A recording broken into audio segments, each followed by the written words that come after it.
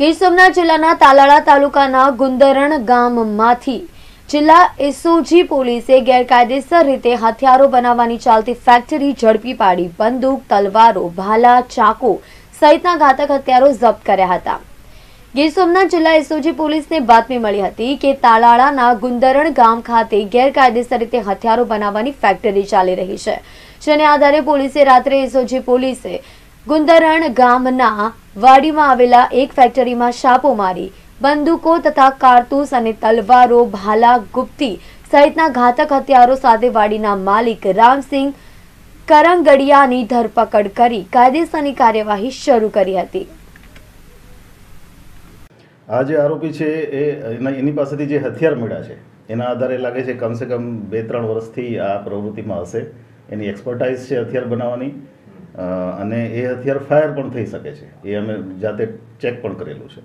સાથે સાથે આ એનું પોતાનું એક લાયસન્સવાળું વેપન એના દાદાના સમયથી એની પાસે છે. જે એણે રિટેનર તરીકે અત્યારે એની પાસે છે. અને એ પણ એનું જૂનું લાયસન્સ છે અને જૂનું હથિયાર છે. એટલે હથિયાર સાથે એનો નાતો ઘણા સમયથી હોય એવું દેખાઈ રહ્યું છે. બીજો કોઈ વેપાર ધંધો નથી, એનો ખેતી છે એનું મુખ્ય કામ. એના ખેતરમાં જ એણે એક શેડ બનાવી અને આ કામ ચાલુ રાખેલું છે. અને એ આની પહેલાં દસેક વર્ષ પહેલાં એક મારામારીનો ગુનો તલાલા પોલીસ સ્ટેશનમાં એની સામે દાખલ થયેલો છે.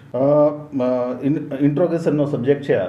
જ્યાં સુધી અમે પ્રોપર ઇન્ટ્રોગેટ ન કરી લઈએ ત્યાં સુધી એમાં એક્ઝેક્ટ નહીં કહી શકાય. પ્રાથમિક દ્રષ્ટિએ એક જ આરોપી અમને મળ્યો છે.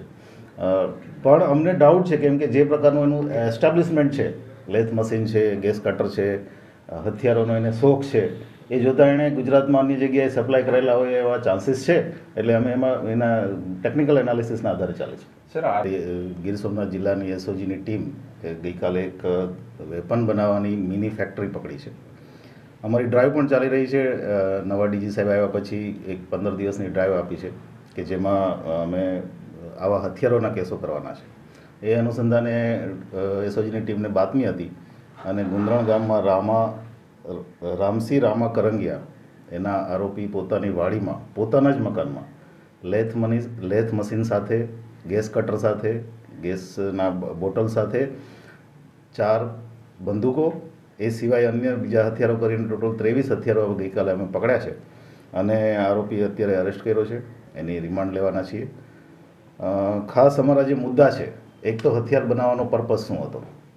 અને બીજું કે આ હથિયાર બનાવીને વેચ્યા તો એણે ગુજરાતમાં કોને કોને ક્યાં આપ્યા છે? આના અમે ડિટેલમાં જવાના છીએ.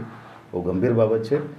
આની પહેલાં સૌરાષ્ટ્રમાં આ પ્રકારની મિની ફેક્ટરી એકવાર રાજકોટમાં પકડાયેલી. એ એ સિવાય બીજો કોઈ એક્ઝામ્પલ નથી.